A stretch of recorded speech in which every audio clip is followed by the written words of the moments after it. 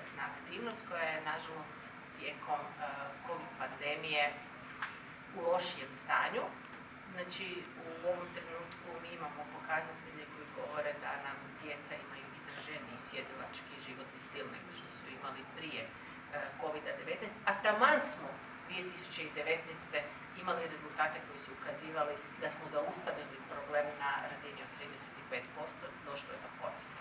I rekla bih nekih dobrih vijesti kad je prehrana u pitanju, jer mi puno pričamo, jer uvijek misliš pričaš, pričaš pa te se ne čuje, ali ipak se čuje. E, tu zahvaljujem i vama, jer se ovako inače ne bi čuli, da pričamo samo jedni s drugima.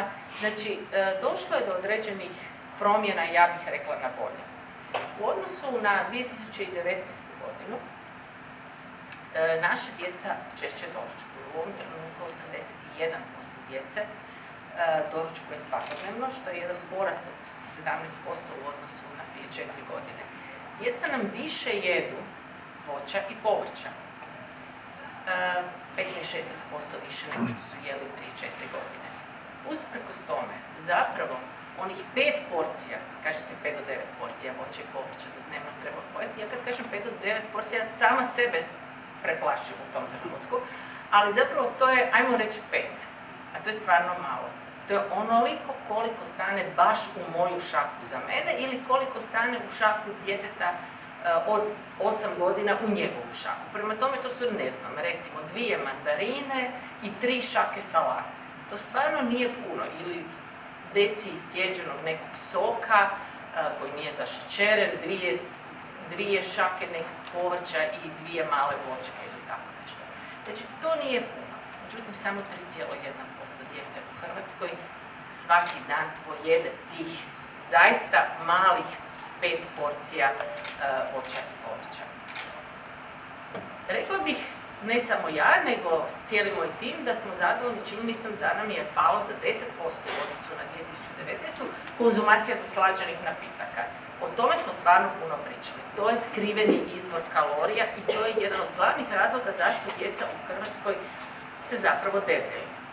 Nažalost, za 9% nam je porasao problem konzumacije četiri i više puta tjedno, što se smatra rizikom slatkih grickalica. Tako da sad moramo otvoriti zajedno s vama i tu temu. Sklopu ove teme pravilne prehrane u cilju prije svega prevencije debljine, ali i dobrog životnog stila, uh, napravili brojne stvari, recimo što se dojenja tiče, mi obilježavamo tjedan dojenjaka, prvi tjedan u desetom mjesecu, a utječemo na okoliš tako da smo uredili 21 hodečku stazu i 21 park.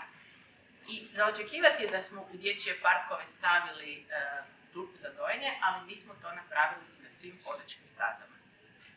Želeći poslati poruku da je zapravo to najnormalnija stvar ako je dijete gladno da može pojesti i izvan. Ono što ste pitali ranije i gospođa Milanović je odgovorila na pitanje, ja bih samo još dodala da je utjecaj znači marketinga jako velik na prehranu i na odabir onoga šta, da kažem, jedu sama djeca, također i roditelji, jer to stvara neke prehrambene navike. Okruženi smo, kao što znamo, mnogo utjecaj marketinga, tako da toga djeca sve više vjeruju hranu kao što su krickalice, slatkiša, nažalost, slatka pića, a to sve utječe posle naravno na dubinu. Također moramo voditi računa da, kao što sam rekao, tu su najvažniji roditelji prije svega, jer oni utiču na kreiranje zdravih prehrambenih navika djeteta i ostalih životnih navika djeteta. I tu je naravno prehrana roditelja i šta oni odaberu za svoju djecu, ali ne smijemo zaboraviti da su tu i finansijske mogućnosti koje jako utiču na prehranu same djece i na odabir roditelja šta će dati djeci jedu. I tu je također utjecaj tradicije i društvenih normi,